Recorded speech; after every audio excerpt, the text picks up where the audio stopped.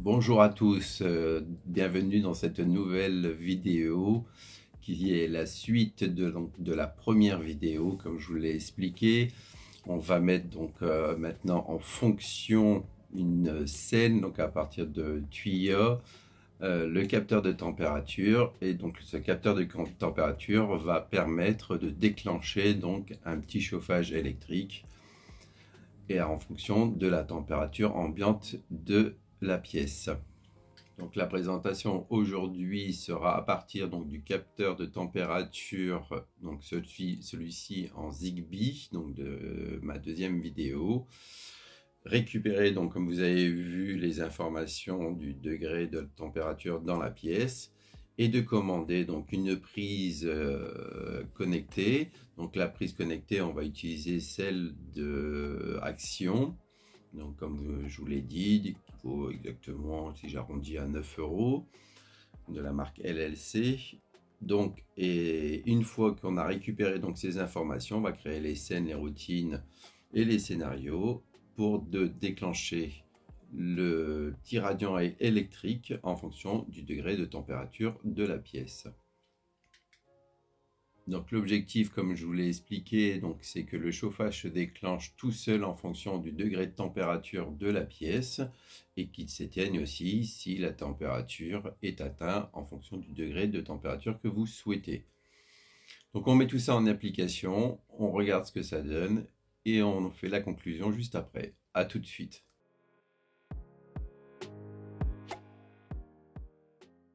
Voici donc sur le smartphone.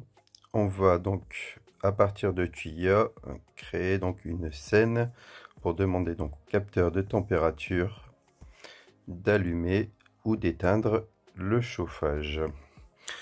Donc voici, on est donc sur l'application. Ici on voit les scènes. Donc on va ajouter une scène. Donc vous faites le petit plus.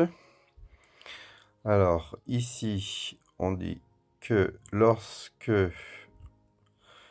le statut de l'appareil change, voilà, donc on va chercher le capteur de température, on va chercher la température, on va lui dire que si il fait, donc dans la pièce là, on va lui dire s'il fait 21 degrés, donc égal, inférieur à ou supérieur. Donc on va dire égal. On lui dit égal à 21 degrés. Ce qu'on va lui demander, donc on va sur alors, on fait le petit plus. Donc d'exécuter le périphérique. Donc là on va aller chercher chauffage. Donc là on voit il est marqué interrupteur 1 ou on peut faire avec un décompte. Donc on va lui demander de le mettre en route. On fait enregistrer. Suivant. Donc on voit bien que si le capteur de température est égal à 21 degrés, alors on lui demande d'allumer le chauffage. Et on fait enregistrer. Il nous demande si on veut l'utiliser tout de suite. On dit oui. Donc on voit que la petite action s'est mise donc en vert pour dire qu'elle est activée. Donc nous voilà avec notre petit chauffage, comme vous le voyez ici, donc avec un petit voyant lumineux qui va s'allumer dès que le capteur de température va lui indiquer donc à la prise connectée une fois qu'on aura les 21 degrés donc d'allumer le petit chauffage automatiquement. Donc comme je vous le disais, une fois que la température sera inférieure à 21 degrés, voilà, ils viennent de se mettre en route tout seul. Donc ça veut dire que la température dans la pièce fait moins que 21 degrés. Donc le petit capteur de température a bien joué son rôle de transmission. Donc le capteur de température a bien joué son rôle, il a bien transmis donc les degrés de température inférieure à 21 degrés dans la scène au niveau de tuyau. Une fois que tu as donc à récupérer cette information dans la scène, à la déclencher donc la mise en route de la prise qui elle-même donc a allumé le chauffage électrique. Alors, petite précision, euh, pour que ça fonctionne, forcément, il faut que le chauffage électrique est en position de fonctionnement, donc en on. Donc en fonction des radiateurs, soit vous le, ce petit radiant, il y a deux fonctions, soit de ventilation seulement, soit de position 1 pour 1000 watts et position 2 pour 2000 watts. Donc pour euh, vous faire cette démonstration, je vous le montre. Donc vous avez, comme je l'ai dit, une position 0 éteinte, une position ici donc de ventilation, position 1 donc avec 1000 watts, position 2 2000 watts. Donc là pour la vidéo, je l'ai mis en position 2000 watts pour que il fonctionne directement et qu'il s'allume. Donc voilà, donc la scène au niveau du test réussit sur la mise en route automatique à partir donc du petit capteur de température que je vous représente ici qui lui est en Zigbee. Nous revoilà sur l'application Tuya et on voit bien donc ce que le capteur indique comme température. On est à 20,7 degrés. Donc c'est pour ça que comme on était inférieur à 21 degrés, le petit radiant électrique avec la prise connectée de chez Action a mis en route donc le petit radiant sur le smartphone donc on va essayer de voir si on peut créer donc une routine à partir d'Alexa donc on va sur l'application Alexa on va sur nos appareils donc on voit bien les 18 degrés 17,9 exactement du capteur de la cave. Donc là, on va faire le petit plus.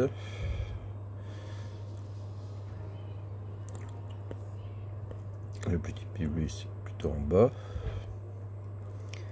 On va faire routine. Le petit plus en haut. Donc on saisit un nom de routine.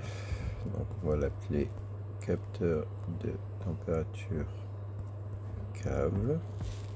on fait suivant donc lorsque cela se produit on fait le petit plus on fait donc maison connectée et on va chercher notre capteur de la cave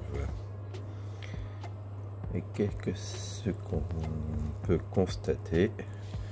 C'est que le capteur de la cave au niveau des routines de chez Alexa.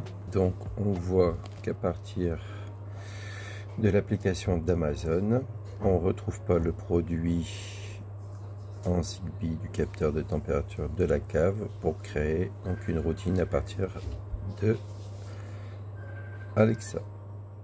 Donc nous maintenant nous revoici sur donc la page d'écran du smartphone pour faire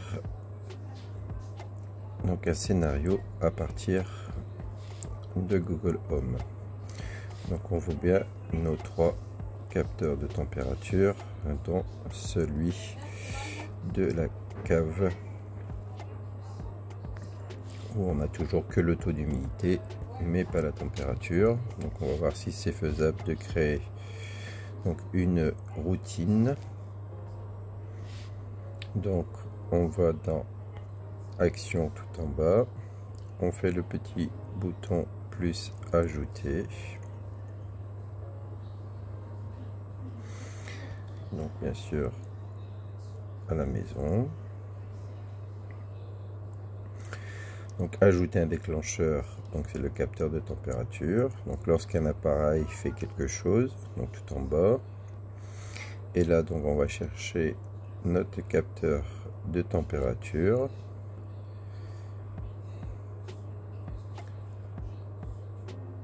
Et on voit qu'à partir de notre liste de tous nos appareils connectés, nous ne trouvons pas le capteur de température.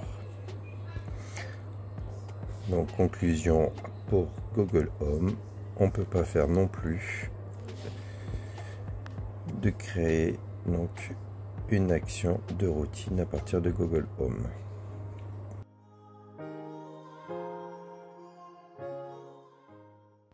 Donc pour cette conclusion, vous avez vu qu'à partir de l'application tuyeur, la création de scènes est très facile et fonctionne. Le petit chauffage s'est bien mis en route à partir d'une température, donc là dans l'exemple, inférieure à 21 degrés dans Studio. Par contre, vous avez constaté que sur euh, Alexa, pas moyen de créer une routine parce qu'il ne trouve pas le capteur de température pour pouvoir faire la routine.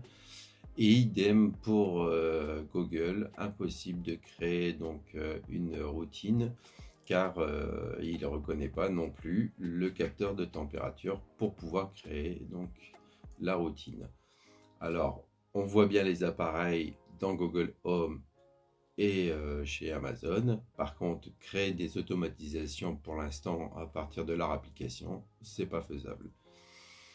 Donc, la solution pour l'instant sur ces petits capteurs là de température et les, prises euh, connectées, c'est compatible tuyau, je répète, euh, se font essentiellement à partir de tuyaux. Les, donc, les deux premières vidéos ont démontré que on pouvait interroger vocalement nos assistants vocaux, euh, Amazon et Google, donc de bien avoir les remontées de température des capteurs. Par contre, créer des scènes, on voit bien que à partir de leur application, pour l'instant, ça ne fonctionne pas. Nous voilà sur la fin de cette vidéo. J'espère qu'elle vous a aidé à comprendre déjà ce que c'était donc les scènes, les routines et les scénarios. Que vous allez être un petit peu plus à l'aise. J'attends vos commentaires si vous en avez à me poser au niveau des questions et des compléments d'informations que vous avez besoin et que vous ne trouvez pas ou vous n'avez pas trop compris sur cette vidéo. Je me ferai un grand plaisir de vous y répondre. Et donc, je vous remercie de me suivre sur ma chaîne Rodomotique en espérant de vous retrouver très rapidement dans la prochaine vidéo. À très bientôt. Ciao